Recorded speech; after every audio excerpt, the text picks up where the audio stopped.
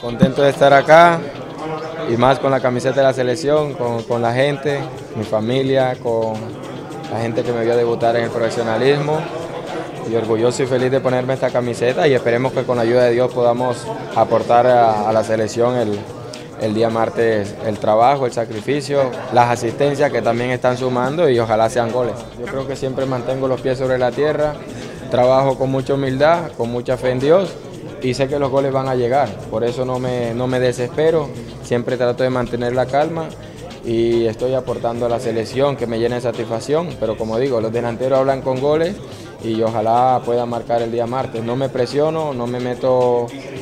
ese, esa presión de que tengo que marcar, solamente quiero aportarle a la selección lo mejor de mí. Puede ser un plus, pero sabemos de que todos los partidos son distintos, todos los partidos son diferentes, enfrentamos una gran selección como lo es Uruguay, con grandísimos jugadores de, grandísimo nivel, pero nosotros tenemos que aprovechar todos esos plus que tú dices, además lo, que es el estadio, el calor, todo, son factores que, que pueden estar ahí pero que si nosotros no ponemos nuestro fútbol, nuestra intensidad, lo, lo que en verdad tenemos, lo que venimos trabajando, eso no va a hacer ninguna diferencia.